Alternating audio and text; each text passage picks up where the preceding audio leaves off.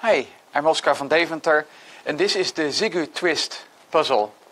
As you can already guess uh, from its name, the Ziggutwist puzzle is uh, yet another variation to uh, Bram Cohen's uh, Ziggurat puzzle. You uh, may remember the Ziggu Flat uh, as well. And like all these puzzles, we have a bunch of pieces that have multiple states, four states. So um, now all the arrows are pointing in one direction, and actually the starting position of this puzzle is when all the arrows uh, are pointing up.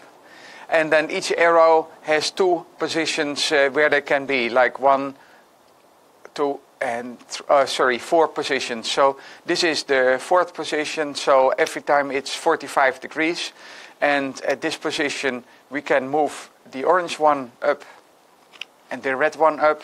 And when the, uh, they are all up, then we can push the yellow one one down, then uh, move all this. And now the uh, orange uh, is down, the yellow is uh, down, so now we can do a move for the green to move it up. Then we move the yellow uh, one back. And you see um, it takes uh, quite a lot of moves uh, to start uh, moving uh, things uh, up and down. So now we have already uh, four arrows up.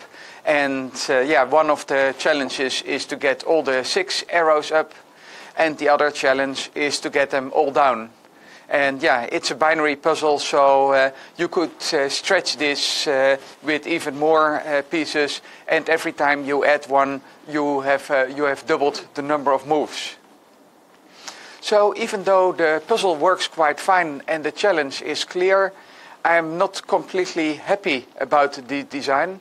And that's also my uh, question to you. The reason that I'm not happy about the design is, well, you have the arrows pointing in one direction and then you have them in the other direction.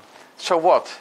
So what should we do to make this into a more attractive puzzle where um, the solution is somehow meaningful? Thank you for watching.